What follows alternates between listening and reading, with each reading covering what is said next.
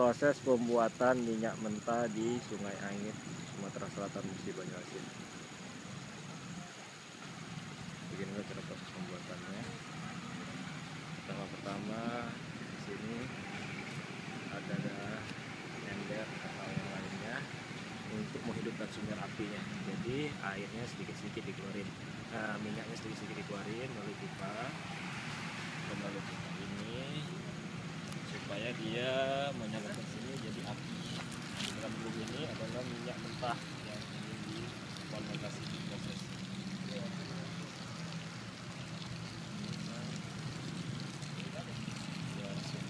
Kolam air. Dengan terus keluar berupa bensin atau pertamax. Bagian di. Jangan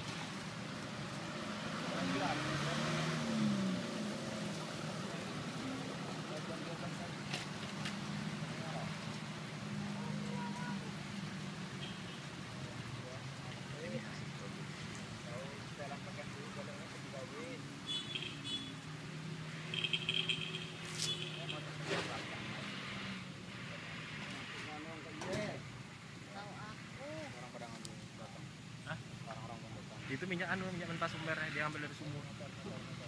Sumurnya kan sikat dak nih eh? Sumurnya tak disikat dak? Oh jauh eh. Sikat cuma masak aja ya